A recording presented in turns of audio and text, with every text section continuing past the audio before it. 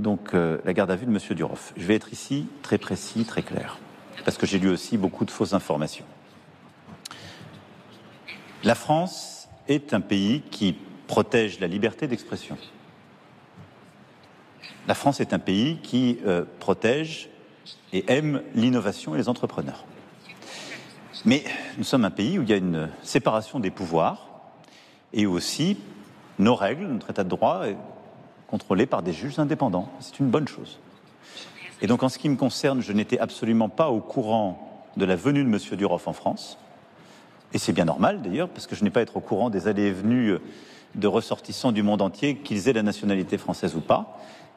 Il est faux que euh, j'avais procédé à quelque invitation que ce soit. C'est totalement faux. Je n'étais pas supposé voir M. Duroff, euh, ni en fin de semaine dernière, ni dans les jours à venir. Je n'étais pas au courant euh, qu'il allait arriver en France. Et c'est une action indépendante de la justice française en la matière. Et ce sont les juges et les organismes indépendants qui ont procédé à ces actions qui auront à en donner la transparence.